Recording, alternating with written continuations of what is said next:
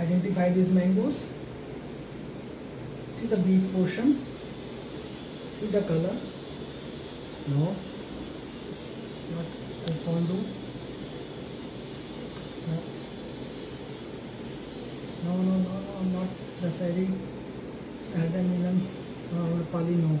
It's famous mango of gujarat kesar. Yes it's kesar variety. केसर जो कि खास करके गिर रीजन में पाया जाता है, ये वो वैरायटी है। और ये भी एक टिपिकल वैरायटी है और प्रीमियम क्वालिटी मैंगोज में ये आता है वैरायटीज़ में।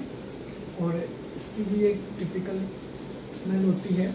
और इसमें साइज़ जो है, काफ़ी वेरी करते हैं अलग अलग वैरायटी के ऊपर। तो ये जो मार्केट में कॉमन अवेलेबल केसर है, वो आपको दिखा रहे हैं। आइए अब देखते हैं काट के कैसा है ये अंदर से। Kesar mangoes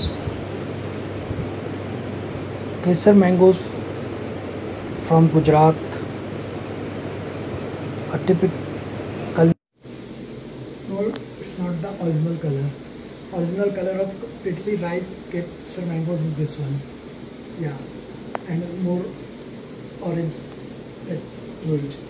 ये अभी इतने ज़्यादा पक्के नहीं हैं। इस वजह से आपको ये कलर ऐसा दिख रहा है। अदरवाइज़ बिल्कुल डार्क कलर के केसर मैंगोज होते हैं। और ये टेस्ट में भी आपको बहुत ज़्यादा स्वीटनेस मिलेगा और आप इसका अगर आम पापड़ भी बनाएँगे तो वो भी एक अलग ही डेलिकेसी होगी बहुत टेस्टी होता है। तो ये थे गुजरात के famous Kesar mangoes thank you so much for giving your valuable time